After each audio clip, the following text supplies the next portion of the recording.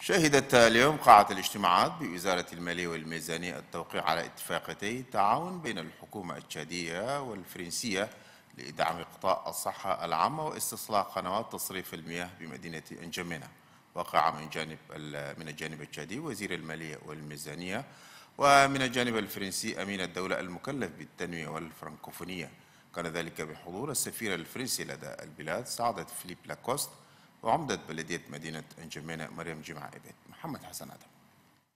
في إطار الشراكة القائمة بين البلاد وجمهورية فرنسا ومتابعة لأنشطة الوكالة الفرنسية للتنمية جاءت هذه المناسبة الخاصة بالتوقيع على اتفاقيتين تعاون بين وزير المالية والميزانية كريستيان جورج دي جيمباي وأمين الدولة الفرنسي المكلف بالتنمية والفرنكوفونية جان ماري ليغان. والذي أكد بأن الاتفاقية الأولى تقدر بحوالي 5 مليون يورو وتهدف إلى دعم وتعزيز قطاع الصحة العامة كما أضاف بأن الاتفاقية الثانية والتي تقدر ب 15 مليون يورو تهدف إلى استصلاح ونظافة قنوات تصريف المياه بمدينة أنجمينا. وزير المالية والميزانية كريستيان جورج دي جيمباي من ناحيته أشار بأن هذه البادرة توافق مع السياسة التي وضعتها الحكومة بهدف دفع عجلة التنمية والخروج من الأزمة الاقتصادية الراهنة وتحقيق الرفاهية للسكان.